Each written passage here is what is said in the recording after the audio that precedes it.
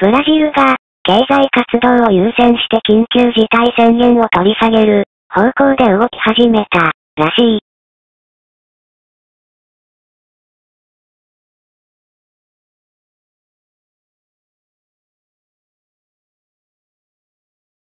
自分の把握では、何を目指すか？でこの先変わってくる。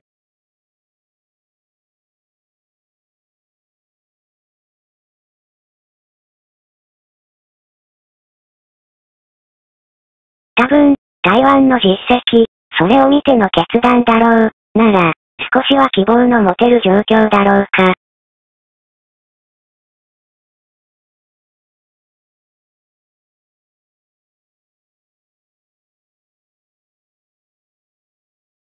日本もかなり、収束へ向かいそうな気配はあるが、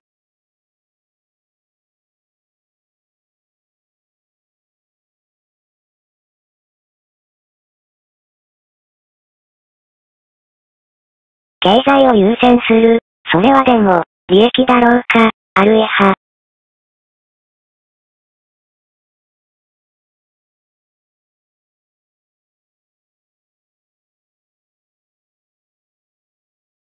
中央統制の効くところは、無理強いを強いることもできるが逆に、変わるときは、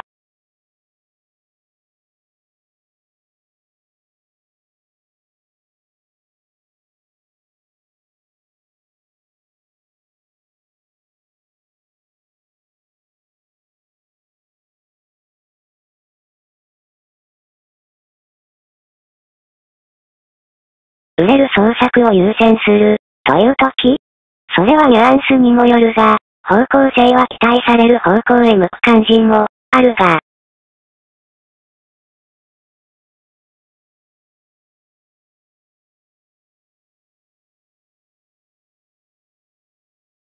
とはいえ、あるいは人間の欲望、そういうのが生んだ事態だ。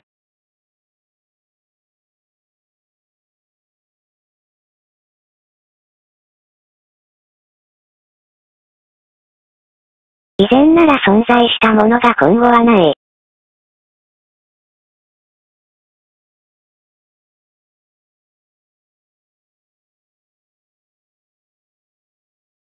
ふざけるな、それがなくなったら。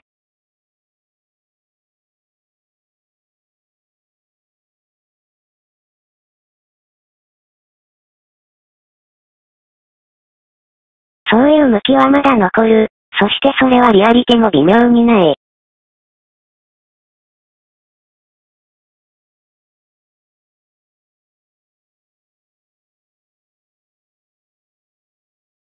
しかし、